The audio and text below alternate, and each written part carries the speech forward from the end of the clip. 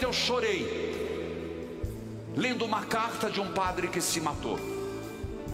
Eu até pensei em publicar, mas não tive coragem. O padre idoso, desfeito, descontente, ninguém o entendia, ninguém dava serviço para ele.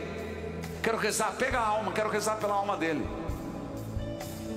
O povo foi embora, ele foi no meio do banco, tomou veneno e se matou desgosto.